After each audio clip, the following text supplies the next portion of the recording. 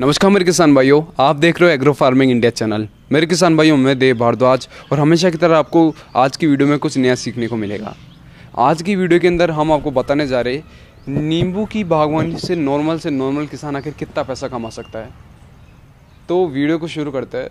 तो मेरे किसान भाइयों नींबू की बागवानी लगाने से पहले आप आ, लगाने से पहले आपको पता होना चाहिए कि आखिर आपको अपनी लैंड के अंदर कितना पौधे लगाने हैं। हम बात करते हैं एक एकड़ की। कई किसान भाइयों की कन्फ्यूज़न रहती है कि आखिर हम एक एकड़ के अंदर कितना पौधे लगाए नींबू के। तो मैं आपको बता देता हूँ कि आप एक एकड़ के अंदर 200 से 250 पौधे आप नींबू के लगाए। और जब आप बात करते हैं वैरायटी की तो जब आप वैरायटी चूज़ करोगे तो मतलब आपको मार्केट में आप जाओगे तो आपको अलग अलग वैरायटी देखने को मिलेगी। एक से बढ़कर एक वैरायटी देखने को मिलेगी। गवर्नमेंट की वैरायटी भी आपको अलग अलग देखने को मिलेगी। प्राइवेट नर्सरियाँ भी आपको अलग अलग वैरायटी बताएगी कि आप ये वैरायटी लगा लो। तो आपको जब भी आप वैरायटी चूज़ करें तो आप बारह मासी वेराइटी में कोई वेराइटी चूज़ करें। क्या कि बारह मासी में क्या है कि आपको हर सीज़न के अंदर प्रोडक्शन देखने को मिलेगा नींबू का। तो किसी न किसी सीज़न में तो आपको भाव देखने को मिलेगा। जैसे कि अगर सर्दी में अगर आपको भाव नहीं देखने को मिला अच्छा भाव देखने को नहीं मिला तो गर्मी में आपको अच्छा भाव देखने को मिलेगा। किसी न किसी सीज़न में तो मिलेगा ही आपको। जैसे कि अभी गर्मियों का सीज़न चल रहा है, नींबू का आज की रेट करीबन तीन सौ से चार सौ किलो जारी है।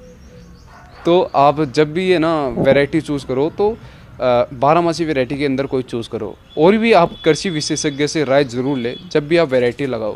क्या है कि आपकी पहले ज़मीन की रिपोर्ट चेक कराओ आप, फिर डॉक्टर से आप पूछो कि कौन सी वैरायटी मेरी यहाँ पे सूटेबल रहेगी। तो कभी भी आप वैरायटी लगाए, कोई भी नींबू की तो आप डॉक्टर से राय ज़रूर लें, कृषि डॉक्टर से राय ज़रूर लें। अब बात आती है कि मतलब सबसे पहले तो आपको ये भी पता रहना चाहिए कि नींबू के गड्ढे कौन से महीने में खोदते हैं? कितने चौड़े गड्ढे खोदने हैं? और कितनी गहराई होनी चाहिए खड्डों की? नींबू के पौधे फिर हम कौन से महीने के अंदर लगाए? तो ये भी आपको पता रहना चाहिए। तो आप कृषि डॉक्टर से इसके बारे में भी राय ज़रूर लें। जब भी आप नींबू के पौधे लगाए तो उसका आपको कृषि डॉक्टर से रेगुलर आपको चेकअप कराना चाहिए। करीबन जैसे दो दो तीन महीने के अंदर एक बार आप आप चेकअप ज़रूर कराए कि इसके अंदर कोई रोग वगैरह तो नहीं आ रहा, कि ये रोग फैल ना जाए और भी नींबू के अंदर ये रोग ना चला जाए तो आपको चेकअप ज़रूर कराना है। ध्यान रखें, नींबू की आप केमिकल फ़ार्मिंग ना करें। आपको केमिकल फ़ार्मिंग में आपको बहुत बड़ा वाला लॉस लग सकता है।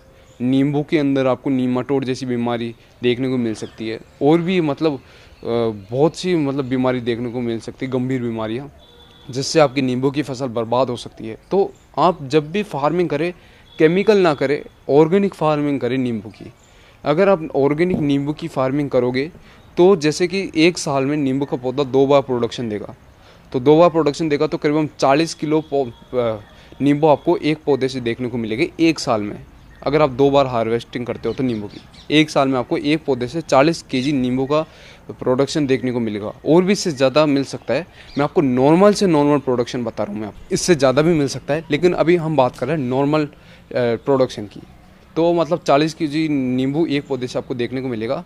एक साल के अंदर दो बार ये प्रोडक्शन देगा।